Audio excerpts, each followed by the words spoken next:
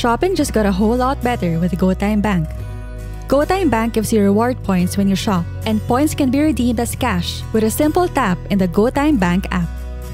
Not only does GoTyme Bank offer interest rates 50 times higher than traditional banks, but it also provides three free bank transfers to other banks per week.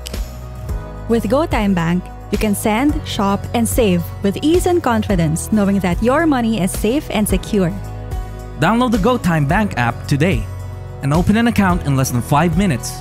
Visit www.gotyme.com.ph for more details.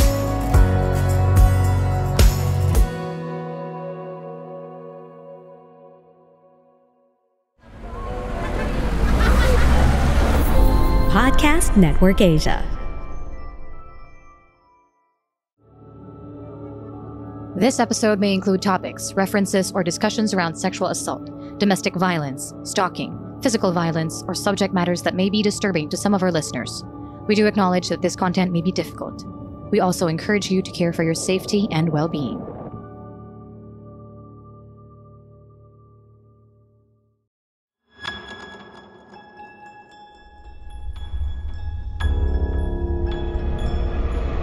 Shocking, sad, revealing, and deeply researched. PH Murder Stories podcast covers the true account of infamous killings and true crime stories from the Philippines. There's no such thing as questions, just hidden answers. Stay tuned as we revisit the inconceivable crimes that exist. Some listeners may find the following content of PH Murder Stories highly disturbing due to its graphic nature. PH Murder Stories does not condone nor promote violence of all sorts. Viewer discretion is advised.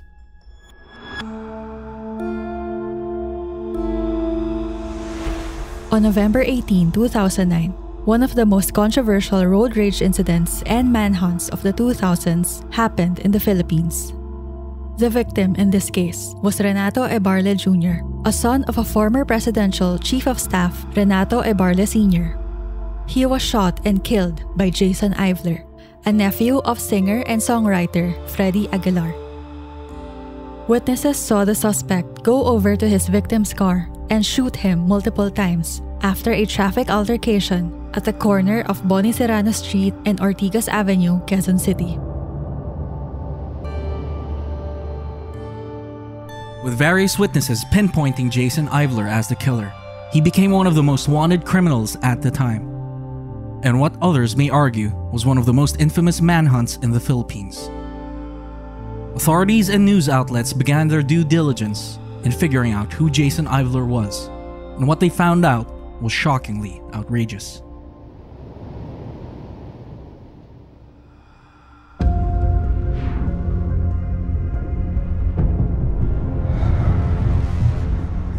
You are listening to the PH Murder Stories podcast, and this is the ninth episode of season 3.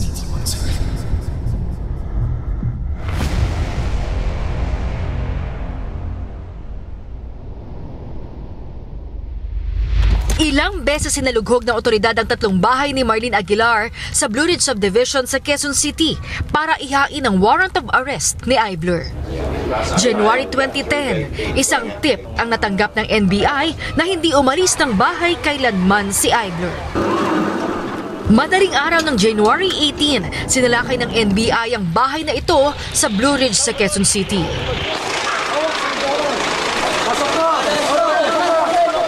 Ayon kay Marlene Aguilar, wala doon ang anak niya. Wala naman kayong search warrant. Nandiyan, andyan na siya sa, andyan na kayo sa kwarto kung may mga hawak kayong balin. Tuloy pa rin sa paghalughog ng mga kwarto nang umalingaw-ngawang isang putok.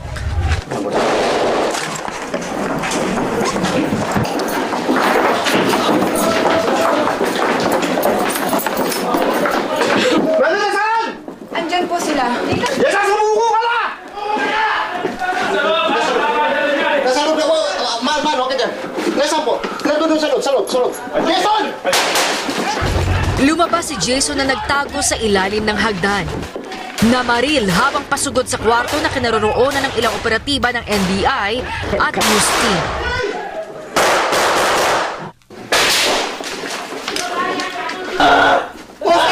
Pero natamaan si Jason na maoperatiba bago pa man niya napasok ang kwarto.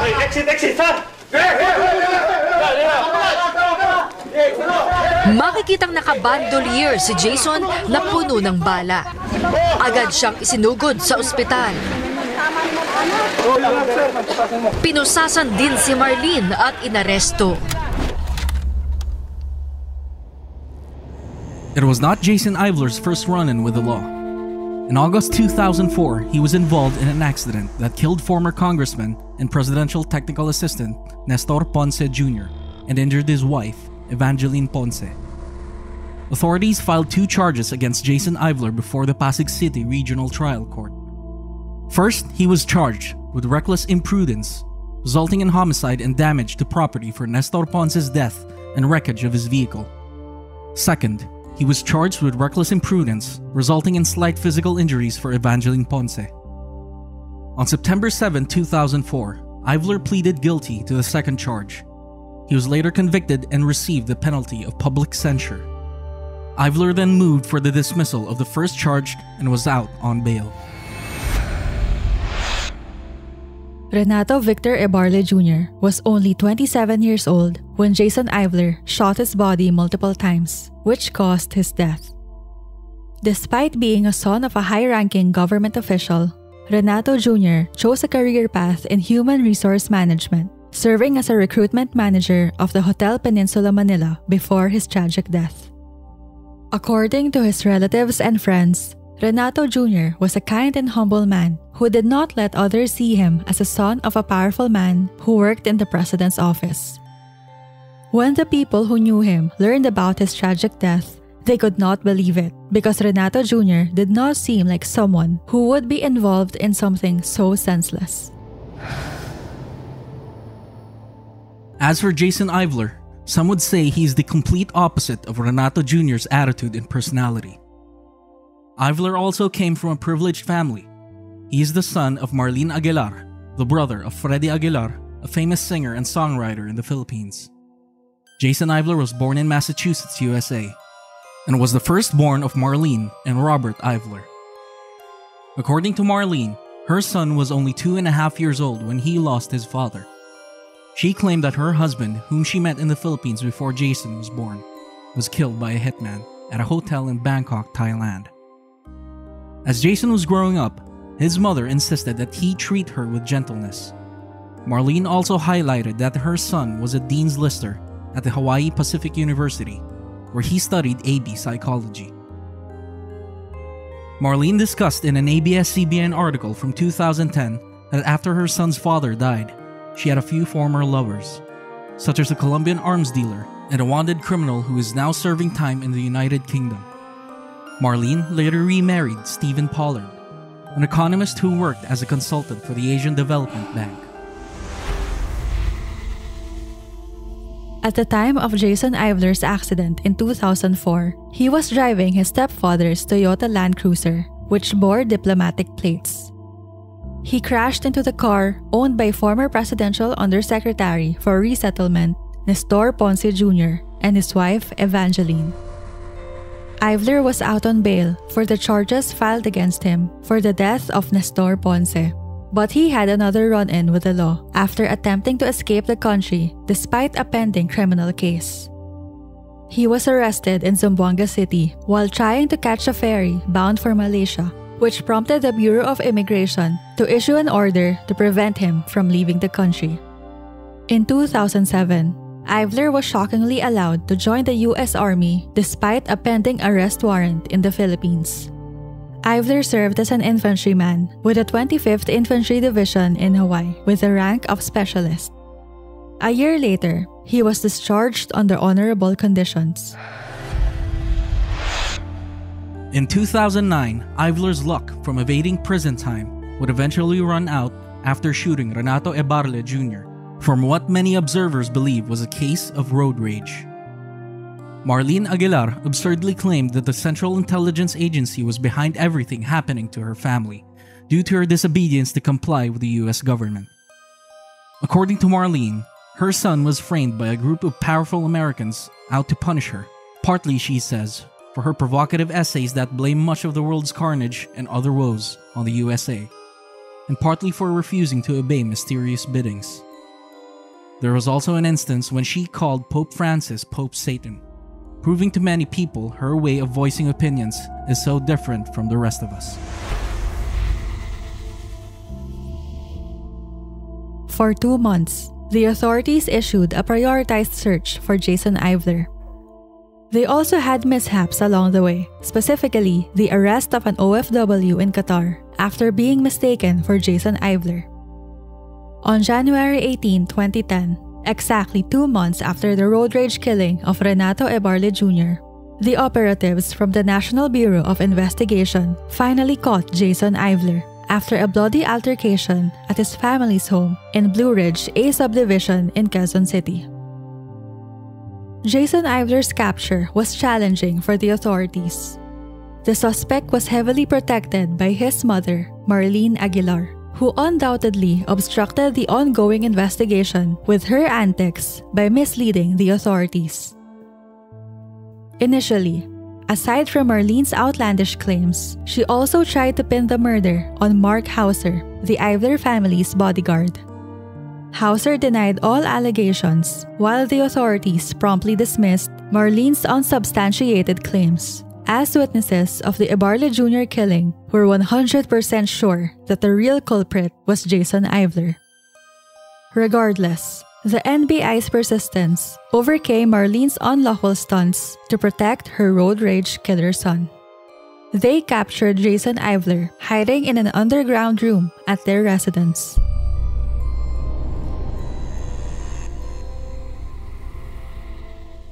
Amid the arrest of Jason Ivler, Marlene Aguilar was hysterical, seemingly trying to deceive the authorities, but as soon as they figured out the fugitive's whereabouts in the house, all hell broke loose.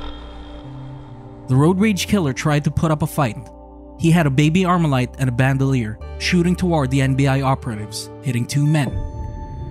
Eventually, the authorities were able to apprehend Jason Ivler after shooting him in the right shoulder and left upper abdomen.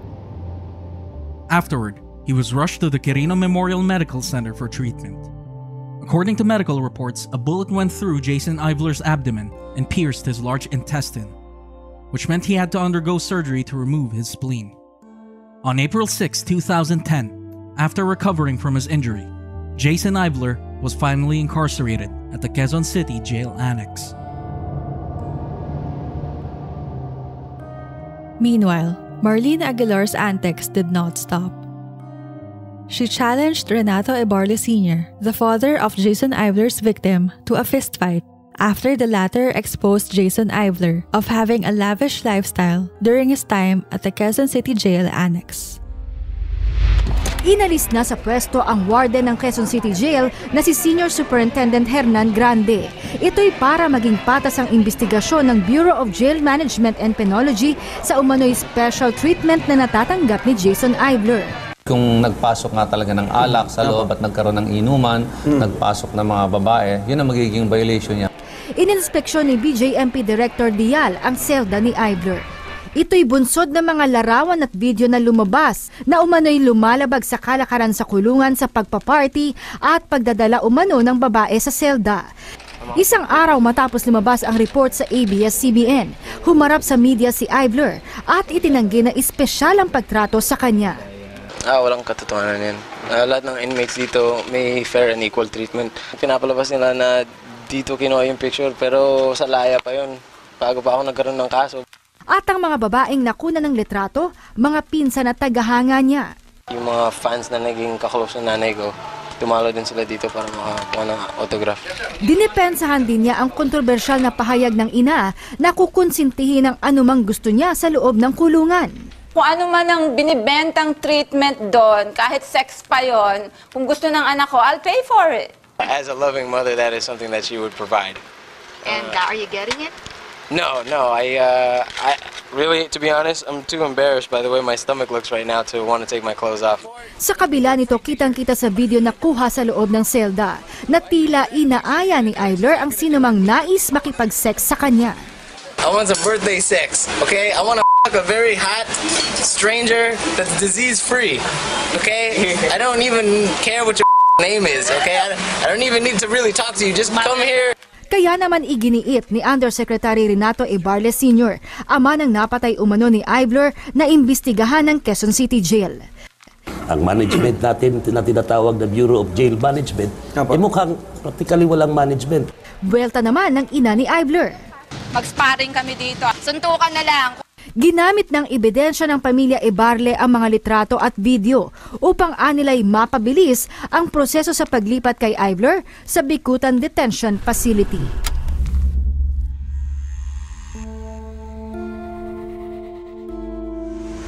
During Jason Ivler's time in the Quezon City Jail Annex, photographs and videos were circulating in public, which featured Jason Ivler partying, drinking booze, and having female guests with his fellow inmates.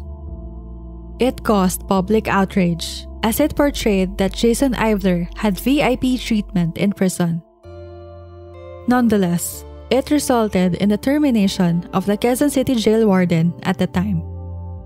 In an interview with Jessica Soho in State of the Nation, Ebarle Sr. responded to Marlene Aguilar, telling her that she should redirect her anger at her husband, Stephen Pollard, as Ebarle Sr. claimed that Pollard was the one who asked his British bodyguard to tip off the police on Jason Ivler's whereabouts.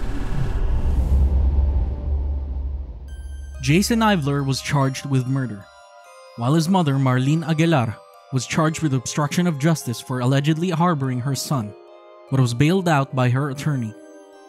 During the court hearings, there were 58 pieces of evidence against Jason Ivler, including the gun he used to kill Renato Ebarle Jr., which was seized in his residence during his eventual capture.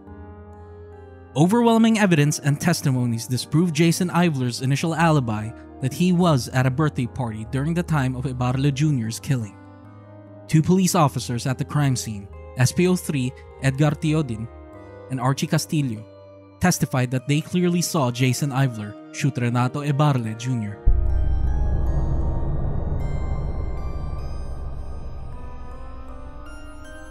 In 2015, the Quezon City Regional Trial Court Branch 84 found Jason Ivler guilty of murder. In its ruling, the court sentenced Jason Ivler to reclusion perpetua or up to 40 years in prison and ordered him to pay 9.373 million in damages to the Ebarle family. The convicted killer was also ordered to transfer to the new Bilibid prison in Muntinlupa City from the Quezon City Jail Annex in Camp Bagong Diwa. Jason Ivler tried to appeal his conviction, but the Court of Appeals affirmed the Quezon City Regional Trial Court Branch 84's decision in 2017 and the Supreme Court's in 2019. In addition, the higher court added a huge sum of damages and legal fees to be paid by the suspect to Renato Ebarle Jr.'s family to compensate for the loss of earning capacity of his victim, which both the RTC and CA failed to account for. Jason Ivler was a spoiled brat who killed two people for his recklessness and violent tendencies. He didn't even show any remorse for what he's done. It is good that justice prevailed this time despite Jason Ivler's powerful connection through his uncle, Freddie Aguilar. Being a prominent campaign supporter and jingle songwriter of former President Rodrigo Roa Duterte. Jason Ivler and his family tried so hard to get out of jail, but his crime was way too obvious. Not even money and powerful connections could let him get away with it.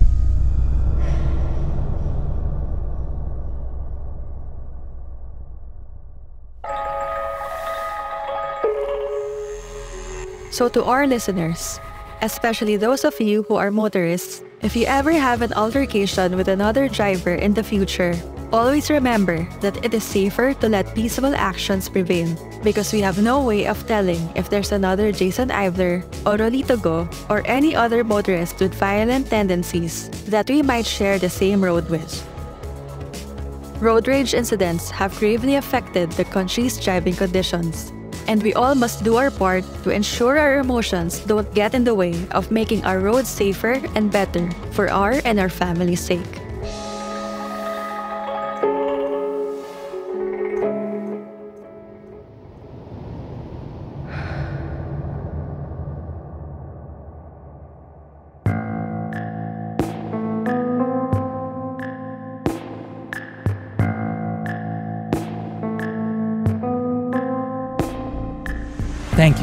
Listening to PH Murder Stories.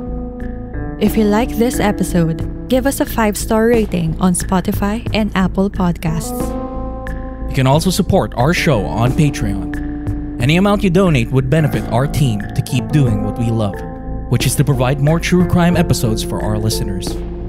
Link in the description. For further updates from our show, follow us on Facebook, Instagram, Twitter, and TikTok at PH Murder Stories. And subscribe to our YouTube channel at PH Murder Stories.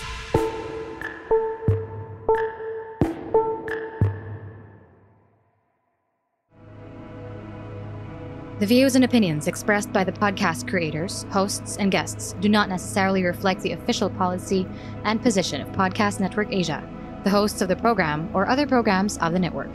Any content provided by the people on the podcast are of their own opinion and are not intended to malign any religion, ethnic group, club, organization, company, individual, or anyone or anything.